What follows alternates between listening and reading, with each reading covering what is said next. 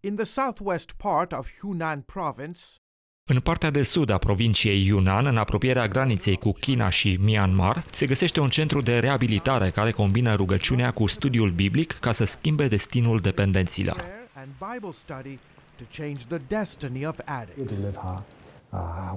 Ne bazăm numai pe Dumnezeu și credem în puterea sa care schimbă vieți. Shu Jeniun a ajutat la fondarea centrului Gospel Rehab Center în 2007. Nu folosim medicamente sau alte metode extreme. În schimb, urmăm un program simplu în fiecare zi. Un program cu rugăciune.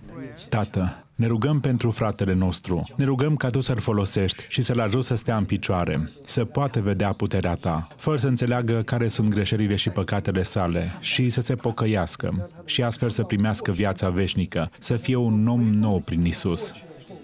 and be made new through Jesus. Închinarea,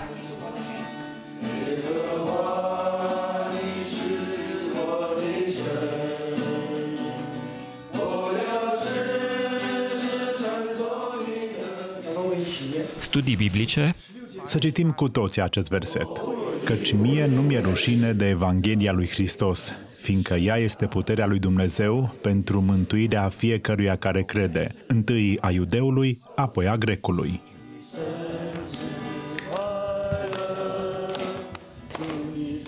părtășie,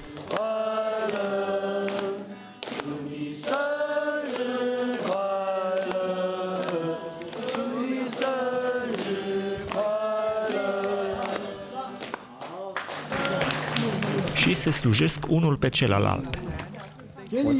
Cei care vin aici să primească ajutor trebuie să vadă puterea lui Dumnezeu de a vindeca. Trebuie să fim un exemplu pentru ca ceilalți să experimenteze dragostea lui Dumnezeu. Șur spunea că este vorba despre crearea unui loc sigur pentru cei care au probleme. Rezultatele sunt vizibile.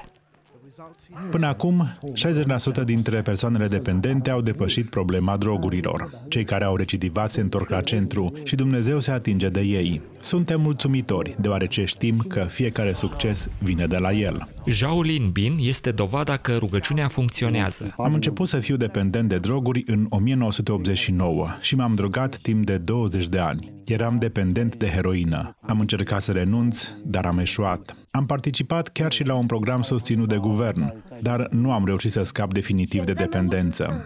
Îmi pierdusem speranța. Situația s-a schimbat în 2010, când mama lui l-a rugat să meargă la Gospel Rehab Center. Era un copil foarte ascultător. Era un băiat bun, dar a ajuns pe căi lăturalnice. Știam că singurul loc unde putea să primească ajutor era centrul și l-am rugat să meargă.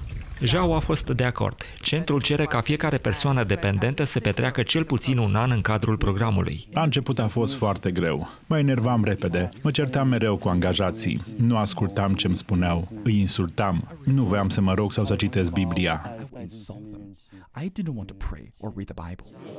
I would insult them. I didn't want to pray or read the Bible. Angajații nu au renunțat. Au continuat să se roage și să creadă că Dumnezeu se va atinge de el, așa cum s-a atins de mulți alții care au venit înaintea lui. Nu suntem medici sau specialiști în probleme ce țin de dependențe. Ne bazăm pe credință și puterea rugăciunii. Zhao spunea că după un timp a avut o revelație a dragostei și iertării lui Dumnezeu. 20 de ani din viață s-au pierdut, dar nu vreau să revin la vechiul stil de viață. Am fost și la închisoare, dar știu că Dumnezeu va restaura acei ani pierduți. Dumnezeu a făcut o lucrare miraculoasă în viața mea.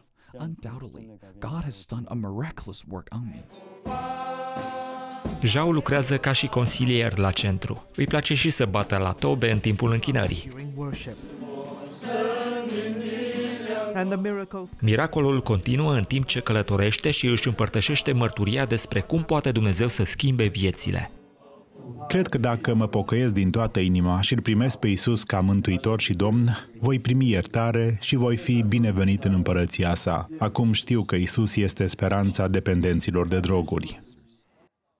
Cei de la centru se pregătesc să primească și mai mulți pacienți. Motivul este următorul. Potrivit cifrelor anunțate de Agenția Națională Antidrog din China, se estimează că există în jur de 40 de milioane de dependenți de droguri.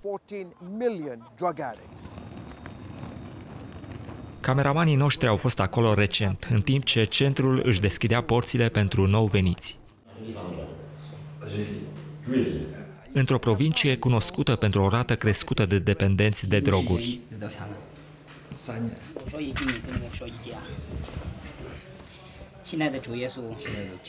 Gospel Rehab Center schimbă vieți.